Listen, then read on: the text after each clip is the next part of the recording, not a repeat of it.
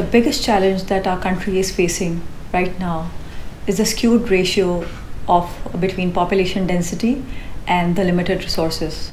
We have a doctor ratio of 8 doctors for 10,000 people as opposed to 71 in Korea and 41 in Italy.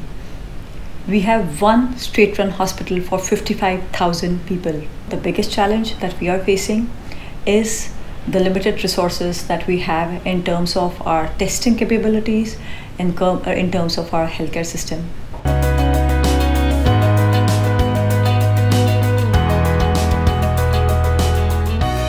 We have 127 ICMR approved government laboratories and 51 private laboratories.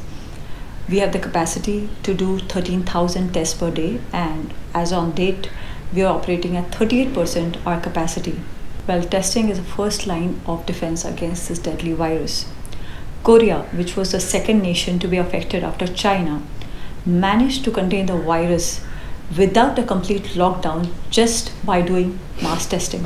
For a country of 1.3 billion people, how much ever we ramp up our testing capacity, our capacity is always going to be woefully short of the requirement. But what is on our side is first the sun.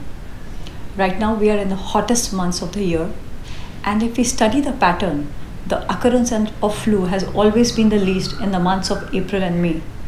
Second, Indians are biologically much more robust when it comes to immunity. Considering the population dynamics in our country, we cannot bank on mass testing like Korea.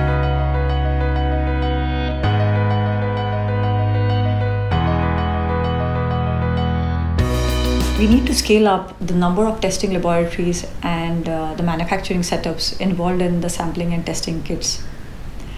The entire workforce involved in the healthcare system, testing laboratories, manufacturing setups uh, involved in making kits, PPE, sanitizers should be fully operational.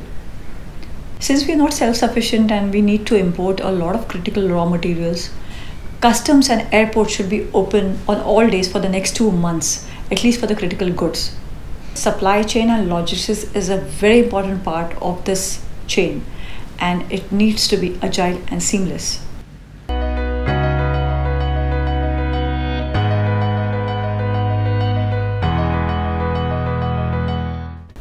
Instead of just focusing on the prevention, what we also need to focus at this point of time is what we can do in case we do get infected by the virus. The key is to keep the immunity high. First, by having a very good diet rich in vitamin C and immune boosters, and second, by exercising and yoga. Traditionally, yoga has been a part of our culture. Surya Namaskar and breathing exercises like Kapalbhati, Ujjayi, Bhastrika increase the Samat Pran in our body. Samat Pran is responsible for maintenance of warmth in our body. So even if you do get the virus, your body can fight it out. It will take four to six months for the vaccine to come out.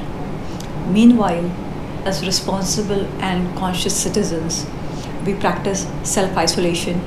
We take good care of our body and health and keep our immunity high so that we do not burden our existing healthcare system.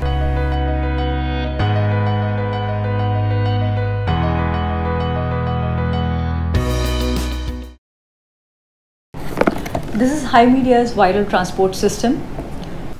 The kit consists of a viral transport medium.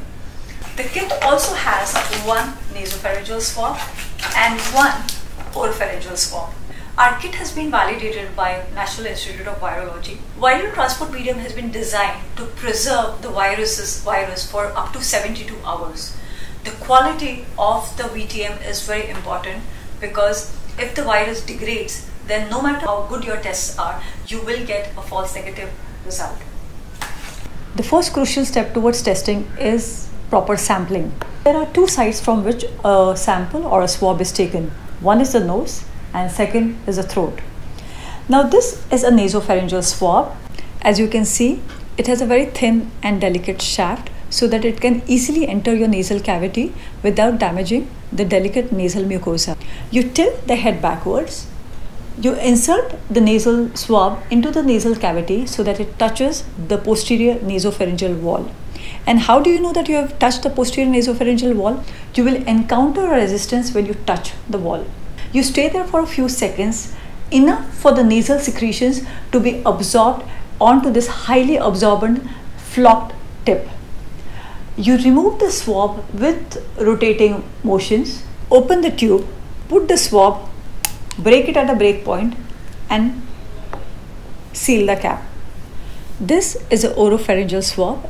As you can see, it is slightly thicker and less flexible than the nasal swab. You again tilt the head backwards. You depress the tongue with a tongue depressor and put the oral swab inside the oral cavity till it reaches the posterior pharyngeal wall. You do not touch the sides of the oral cavity or the tongue or the gums and the teeth. It's a natural reflex that when you put the oral swab into a person's mouth, the person might gag, but you have to keep the swab for sufficient time for the secretions or the proper scrapings to come onto the tip or the oropharyngeal swab. You again remove the swab, open the tube, put it back in the tube.